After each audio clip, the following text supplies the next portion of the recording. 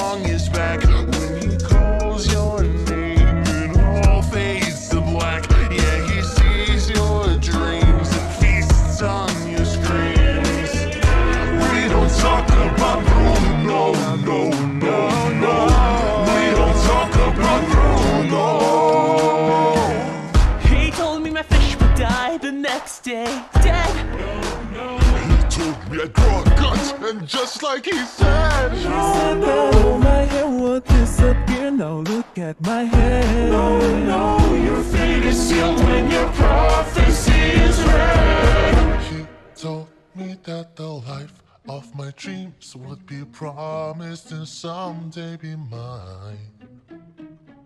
He told me that my power would grow like the grapes that thrive on the vine. OJ Mariano's on his He way. told me that the man of my dreams would be just out